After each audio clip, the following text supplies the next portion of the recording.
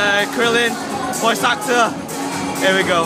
Hi, I'm just doing this for Alan because Alan says that you will not believe this.